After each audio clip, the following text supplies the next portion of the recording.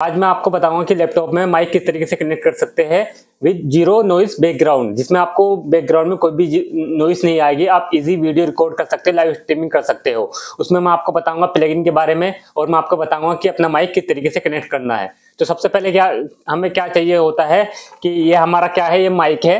और ये है ऑडियो अडोप्टर अगर आपके जो लैपटॉप है, उसके अंदर कोई ऑप्शन नहीं है कि आपका जो ये माइक है डायरेक्ट 3.5 पॉइंट mm जेक का जो माइक का सपोर्ट होता है, अगर आप वहाँ पर नहीं लगा सकते हो तो उसके लिए आता है एक ऑडियो अडोप्टर तो ये ये ई e का है तो ये बहुत ही अच्छा ऑडियो अडोप्टर है। तो आप यहाँ पर क्या कर सकते हो, जैसे यहाँ पर ऑप्शन दिया हुआ होता है तो आप यहाँ पर इसे क्या है कनेक्ट कर सकते हो। अब जैसे इसके अंदर से यहाँ पर कनेक्ट करोगे, अब इसे अपने लैपटॉप के यूएसबी 3.2 में या किसी भी पोर्ट में इसको लगा सकते हो। अब जैसे हम इसको लगाएँगे तो क्या है? माइक हमारे उसमें लैपटॉप में कनेक्ट हो जाएगा। अब जैसे कि मैं इसे लगाता हूँ यहाँ पर, ये मैंने इसे पिनअप किया। अब मैंने इसे यहाँ पर पिनअप कर दिया है तो ये अब मेरा क्या है? लैपटॉप में कनेक्ट हो चुका है। अब मुझे कैसे पता चलेगा कि मेरा माइक लैपटॉप में कनेक्ट हो चुका है? तो मुझे जाना है यहाँ पर कंट्रोल पैनल में। और कंट्रोल पैनल में मुझे जाना है साउंड में। अब मैं जैसे साउंड में जाता हूँ तो ये एक विंडो पॉपअप हो जाएगा। तो यहाँ पर एक है रिकॉर्डिंग का ऑप्शन तो मैं जैसे रिकॉर्डिंग के ऑप्शन पर क्लिक करता हूँ तो यहाँ पर मुझे जो ऑप्शन देखने को मिलेंगे। सिस्टम माइक स्टोरियोमिक हेड और एक है एक है हेडसेट और एक है माइक्रोफोन मतलब सिस्टम माइक जो है, ये मेरा सिस्टम दो, यहाँ पर दो माइक ओपन हो चुका है। एक तो मेरा माइक्रोफोन है, जो यूएसबी के द्वारा कनेक्ट है, और दूसरा क्या है सिस्टम माइक है। तो अगर मैं अपने सिस्टम का माइक यूज़ करना चाहता हूँ तो मुझे इनमें से एक को डिसेबल करना होगा। या मैं इनके नाम भी चेंज कर सकता हूँ ताकि मुझे याद रहे। अब जैसे कि मैंने यहाँ पर सिस्टम माइक का नाम दिया हुआ है और यहाँ पर क्या है? माइक्रोफोन का नाम दिया हुआ है। तो मैं सिस्टम माइक को क्या है? डिसेबल कर देता हूँ। मैंने यहाँ पर सिस्टम माइक क्या है? डिसेबल कर दिया है। और मैं सब यहाँ पर ओके कर देता हूँ। तो अब मेरा एक ही माइक वर्क करेगा जो ही, जो कि माइक्रोफोन है। मैं मतलब मैं इनपुट जो भी अपने लैपटॉप में इनपुट वही दूँगा, वो अब इसके द्वारा जाएगी मेरे। माइक्रोफोन के द्वारा। तो इस तरीके से क्या है, हम अपना माइक क्या है लैपटॉप में कनेक्ट कर सकते हैं। तो पहला स्टेप है हमारा अपने लैपटॉप में परफेक्टली माइक कनेक्ट करना, उसमें कोई भी एरर ना हो। अब क्या है, हमारा यहाँ पर माइक क्या है, वो कनेक्ट हो चुका है। अब मुझे यहाँ पर इसे ओके कर देना है। अब मैं जैसे यहाँ पर इसे ओके कर दूँगा तो अब मैं क्या है, यहाँ पर ओबीएस ओपन करूँगा। अब मैं यहाँ पर इसे ओबीएस ओपन करता हूँ। तो अब मैं अब मैं ओबीएस के अंदर अपने इस माइक को किस, जो मैंने अपने लैपटॉप में कनेक्ट किया है, अब मैं इसे ओबीएस के अंदर जो है वीडियो रिकॉर्डिंग में इसको इनेबल करना है। और वो कैसे इनेबल करूँगा? अब जैसे कि यहाँ पर मेरा सीन है, मैंने अगर आपको ओबीएस के बारे में जानना है कि OBS scene source audio mixer इसकी जो सेटिंग है वो किस तरीके से करनी है, मैंने इस पर एक डिटेल वीडियो बनाई हुई है, आप उसको चेक कर सकते हो। मैं ओबीएस के ऊपर मैंने फुल ट्यूटोरियल बनाया हुआ है। उसमें अगर कोई भी प्रॉब्लम आता है तो आप मुझे कमेंट ज़रूर करना मैं आपकी ज़रूर हेल्प करूँगा।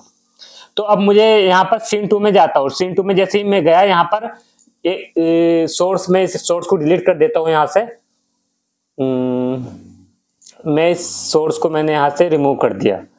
तो अब यहाँ पर दो एक है डेस्कटॉप ऑडियो और एक है मिक्स ऑडियो तो मैं ऑडियो मिक्सर में इनमें मैं हाइड कर देता हूँ। हाइड कर देना यहाँ पर। तो अब क्या है मैंने यहाँ पर क्या है? पूरी ऑडियो क्लीन कर दिया है मतलब जो भी मेरी ऑडियो थी, मैंने उसको यहाँ पर हाइड कर दिया है। तो सबसे पहले अगर मुझे क्या करना है, मुझे अपनी डिस्प्ले को कैप्चर करना है, अपनी डिस्प्ले को रिकॉर्ड करना है तो मैं यहाँ से सोर्स लूँगा और मैंने यहाँ पर सोर्स लिया डिस्प्ले कैप्चर ये आ गया। अब क्या है ये? डिस्प्ले कैप्चर यहाँ पर आ चुका है। और मैं इसे फुल यहाँ पर ट्रांसफॉर्म में जाके इस पे स्ट्रेच टू स्क्रीन कर दूँगा। अब ये यहाँ पर क्या है? और मैं इसे यहाँ पर लॉक कर दूँगा। अब क्या है? मेरा डिस्प्ले यहाँ पर आ चुका है। अब मैं डिस्प्ले आ चुका, अब मुझे यहाँ पर अपनी वॉइस को लेकर के आना है। मतलब इस माइक की वॉइस को लेकर के आना है। तो इस माइक को वॉइस को लेकर के आने के लिए मुझे क्या करना होगा? मुझे जाना होगा यहाँ पर ऑडियो इनपुट डिवाइस में। अब मैं जैसे ऑडियो इनपुट डिवाइस में जाता हूँ यहाँ पर तो यहाँ पर डिफ़ॉल्ट डिफ़ॉल्ट का ऑप्शन आएगा। तो यहाँ पर जैसे कि मैंने, मेरा वहाँ पर जो ऑडियो ऑडियो में मैंने यहाँ पर सिलेक्ट किया हुआ था माइक्रोफोन तो माइक्रोफोन यूएसबी ऑडियो डिवाइस तो मैंने इसे क्या है, यहाँ पर सिलेक्ट किया और ओके कर दिया। अब मेरा क्या है, इस इस माइक से मेरी आवाज़ आई है। हेलो हेलो हेलो आप देख सकते हो जैसे कि यहाँ पर ऑडियो इनपुट तो यहाँ पर क्या है, ये वाइब्रेट कर रहा है यहाँ पर। हेलो हेलो तो अब मेरा क्या है परफेक्टली मेरा माइक जो है यहाँ पर कनेक्ट हो चुका है। तो अब मुझे क्या करना है, जब मैं बोलूँ तो मेरी वॉइस जो है एकदम परफेक्टली आनी चाहिए। तो मुझे उसके लिए क्या है, एक प्लगइन डाउनलोड करना पड़ेगा, जो कि बहुत ही पावरफुल है। तो इस प्लगइन का नाम है यहाँ पर अब जैसे कि मैं आपको एक चीज़ और बता देता हूँ यहाँ पर। जैसे कि मैं इस पर क्लिक करता हूँ मैं ऑडियन पे जाता हूँ, यहाँ फ़िल्टर पे जाता हूँ। तो मैं यहाँ पर क्या है, ये बहुत सारे फ़िल्टर लगा सकता हूँ। जैसे कि यहाँ पर three band equaliser compressor expander gain है। और यहाँ पर एक ऑप्शन है प्लग का। तो मैं इसे जब प्लग करता हूँ तो यहाँ पर सिलेक्ट प्लग तो एक में अभी A I O B S का ऑडियो फ़िल्टर है। एक प्लग है ऑडियो का ओबीएस का। अगर मैं जैसे इसे यहाँ पर यूज़ करूँगा तो मैं अपनी बैकग्राउंड नॉइज़ सारी रिमूव कर सकता हूँ और अपनी वॉइस को बेहतर तरीके से ऑप्टिमाइज कर सकता हूँ। तो अब मैं उस प्लगइन को डाउनलोड करता हूँ और यहाँ पर इसे करके दिखाता हूँ कि मैं किस तरीके से कनेक्ट करके दिखाता हूँ कि अपनी वॉइस को किस तरीके से परफेक्टली मैं यहाँ पर ऑप्टिमाइज कर सकता हूँ। तो मैं जाता हूँ यहाँ पर, मैं गया यहाँ पर गूगल में। अब आपको गूगल में सर्च करना है गोयो वॉइस सेपरेटर अब जैसे कि गूगल में आप गोयो वॉइस सेपरेटर वो करोगे तो यहाँ पर एक प्लगइन आएगा। तो मैं इसे यहाँ पर, ये आया गोयो तो ये जो है गोयो सेपरेटर अब गेट नाव ये एकदम फ्री है ओपन सोर्स है। तो अब मैं गेट नाव पे करता हूँ, और मैं यहाँ पर ईमेल एड्रेस के लिए बोल रहा है तो मैं ईमेल एड्रेस में डाल एंटर कर देता हूँ। और मैंने यहाँ पर ईमेल एड्रेस एंटर कर दी, और I have read policy privacy policy और मैं लॉगिन कर दिया। अब क्या है, ये मैं, मुझे मेरे ईमेल पर एक डाउनलोड लिंक शेयर कर देगा। तो अब मुझे जाना है अपने ईमेल पर और यहाँ पर जो मुझे डाउनलोड लिंक इसने किया है सेंड में से वहाँ से ओपन करता हूँ। हम्म अब ये यहाँ पर आ चुका है।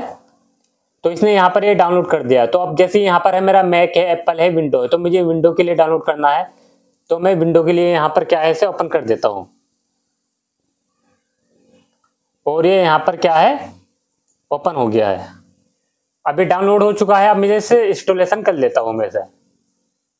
मुझे जाना है यहाँ पर, और अभी क्या है इंस्टॉलेशन हो जाएगा।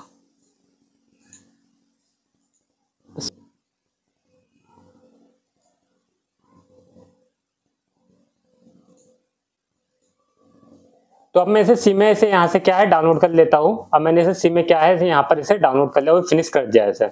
अभी क्या है, मैंने सीमे से इंस्टॉलेशन कर दिया है। अब मैं जाता हूँ अपने ओबीएस में और ओबीएस में मैं यहाँ पर जाता हूँ फ़िल्टर में। जैसे मैंने फ़िल्टर में ओपन किया, अब मैं, अब ये क्या है? देखो, फ़िल्टर में यहाँ पर क्या है ये? ये यहाँ पर आ चुका है फ़िल्टर में, जैसे कि यहाँ पर select please select a plugin तो अब क्या है? फ़िल्टर में यहाँ पर आ चुका है। अब मैंने इसे यहाँ पर सिलेक्ट कर लिया है।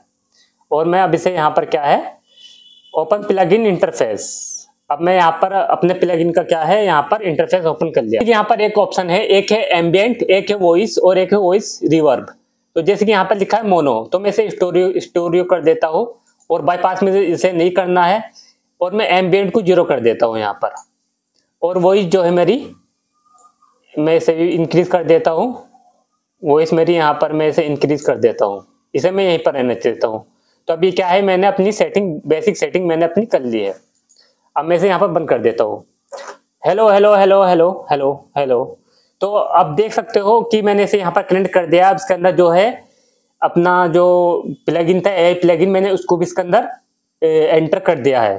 और अगर आप अब अब इससे आप रिकॉर्डिंग करते हो, अपनी स्क्रीन की रिकॉर्डिंग करते हो, उसे चेक करते हो, मैं आपको बताता हूँ उसमें कैसी हुई सारी। अब मैं यहाँ पर से स्क्रीन रिकॉर्डिंग कर देता हूँ।